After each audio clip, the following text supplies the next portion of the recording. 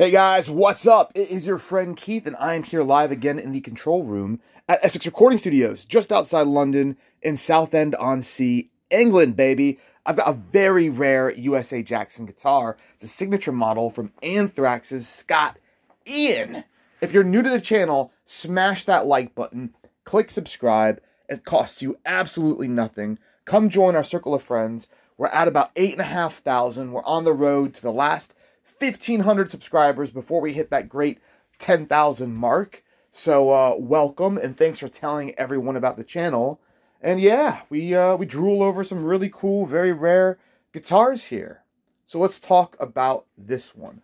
Why is this special? A lot of reasons why. So first of all, this is the latest, like highest serial number, one of the last ones ever made of this body style uh, that we've ever seen in person. So the serial number is stamped here at the bottom of the fretboard. All right, so it's 0725JJ. 725JJ. Now, if you go on the Jackson website, they only track these, I think, up till around like the 300 mark. I've never seen one above 725, so this is one of the last ones, as far as I can tell. I looked all over Google Images. Uh, I looked at some previous listings. I can't find one with a higher serial number. That's pretty cool. Um, other rare thing about this is the color. I've only seen one other in this uh, kind of olive gold color. John Petrucci has a JP7 model this color. I think they call it olive gold. That's the closest thing I can say it, it, it looks like. If you look up close, you can see it's kind of like a pearl, pearl metallic gold color. Really, really nice. Again, I looked high and low all over Google Images, all over previous listings. I've only found one other this color. All right, what else is special? Um, the JJ. Let's talk about what the JJ model is. Jackson Jr. Now, anytime I hear Junior on a guitar, especially a metal guitar, kind of turns me off because it's like, well, what is it supposed to be? Is it a kid's guitar? It's it's not as good as like. Is there a senior version? Is there a JS Jackson Senior? No, it's called a Jackson Junior uh, as a nod to Gibson, which has the uh, the double cutaway or the or the Junior Les Paul, which was an older body solid body from uh, I guess the 50s is when when they had this double cutaway uh, from Gibson. That's why they call it that. It has nothing to do with it being like a kid's guitar, a smaller size, or anything like that. This is a top of the line, very expensive, neck through, USA made guitar with top, top quality components and build quality. Now, what else is interesting about this one? This one's had a few upgrades. So it has the original, I believe they call them the Seymour Duncan El Diablo, Scott Ian signature pickups if it will let me focus. Come on, there we go. So you see the Seymour Duncan logo. You've got the blade style pole pieces. Uh, those were his thing. Sounds great. Upgraded Tone Pros bridge. The original one is in this little bag over here. Is it in there? Yup, there it is, hiding in there with the poles. I don't know what you call these pegs or poles, but the original one's all in the bag. Uh, tuners have been upgraded. Original Jackson tuners all are present with the screws. It's got USA Sperzel locking tuners. Now, before you freak out, you'll be like, oh my god, they drilled extra holes. Why do they do that? It drives me crazy when you see uh, the extra holes and they change tuners. There's no extra holes. These locking USA Sperzel tuners are secured by the nut here on the top. So you don't have to worry about that. There aren't any extra holes. If you want the Jackson tuners put back in, you pop them in and then they screw in where you see their screw holes and bye-bye exposed holes. Cool? No big deal, guys. Nice scarf joint and the JJ2s have this really lovely uh, V neck profile. I'm not sure if you can see it here. I'm going to try my best to show that angle. But yeah, it's got a V profile. Uh, Dimebag used that profile, and it's very comfortable. Feels very natural in the palm. Let's get that lighting back up. But boom. Yeah, You can kind of see it there where it angles. There you go. Very nice, very comfy. As far as condition goes, really clean. Uh, frets have minimal wear, guys. Frets look good. Let me just focus. There we are. A lot of meat on them bones, as they say. And then you gotta love the mother of pearl uh, dice inlay at the 12th fret. I don't know why the numbers are 4, 5, and 6. One of these days, I'm hoping somebody will tell me. Maybe Scott will tell me. Why isn't it 1, 2, and 3? Maybe it's just the, the highest numbers. Why isn't it 666? That would have been cool. Who knows? Then they've got the, the ransom note headstock. And every time I see the ransom note headstock logo, it's only this model that has it. Um, I think a few of the earlier ones actually had it in black and white. I've, I've had, I think, one that had a black and white headstock. Um, and I think I also had one that was missing the Made in USA, which was very interesting. But every time I see this headstock logo, it reminds me when I was in basic training in the military. And um, we had this kid who just had like horrific penmanship. His handwriting was terrible. And the drill sergeant came in and was like, what kind of serial killer handwriting is this? And I don't know why, but every time I see the, this ransom note serial killer type thing, it makes me think of that story, that memory.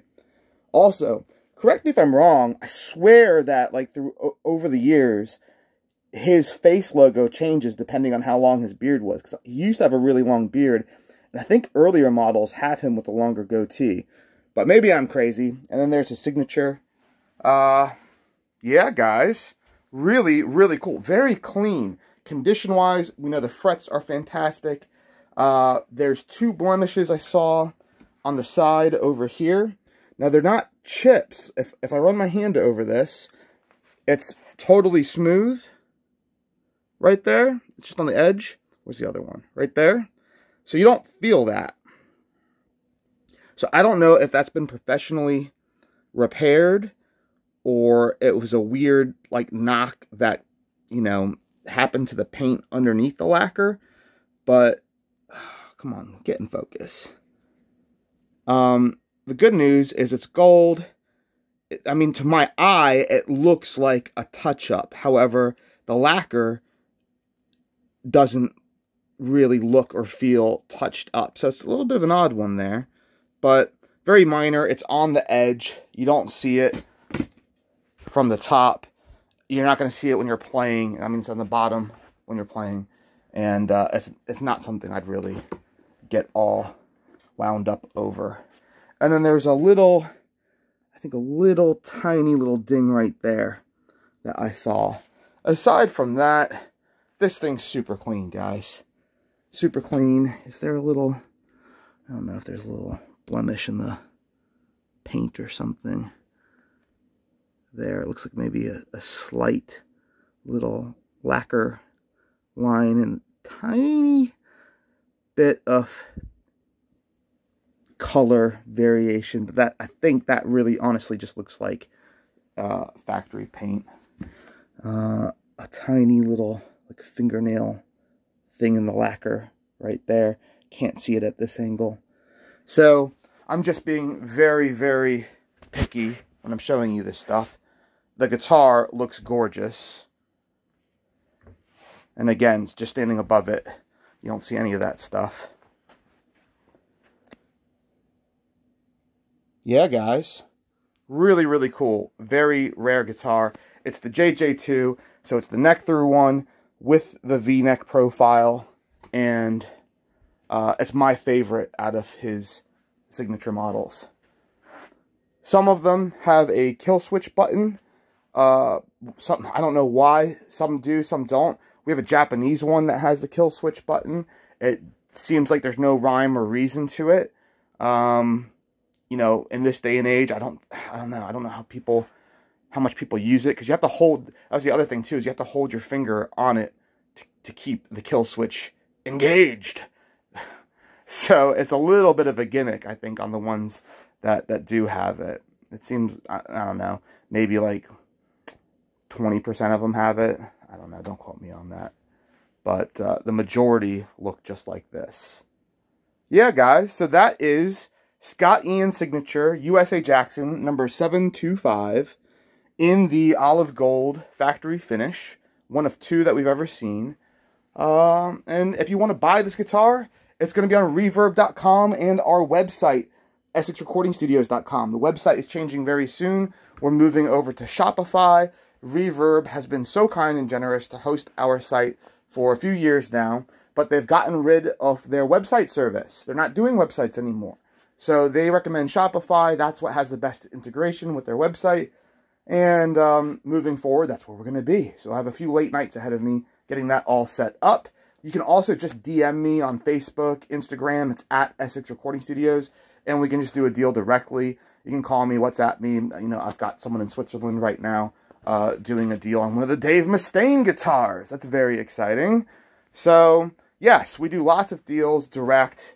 Feel free to drop a line, shoot a message, absolutely anytime on the social media. We love it. We get many messages every day. And uh, in fact, you can see this guitar on our Instagram stories for today. If you're watching this a year in the future, then uh, it won't be there. All right, guys. Thanks for hanging out with me. Sorry that there hasn't been many videos lately. We're working really hard next door to open up a monster rock venue. If you go to uh, the artist Naomi Banks, N-A-O-M-I, Naomi Banks, if you go to her YouTube channel, you'll see a music video we just shot there with a Zakk Wylde Gibson Custom Shop guitar. And uh, that's inside one of the, the venues at this place. There's four stages. It's going to be huge. So uh, it'll be a little touch and go with the videos over the next few weeks, but I'm going to try and smash out a bunch of them for you. All right, guys? Take it easy. Thanks for hanging out. I'll see you very soon. Stick around. More guitar videos to come. Bye.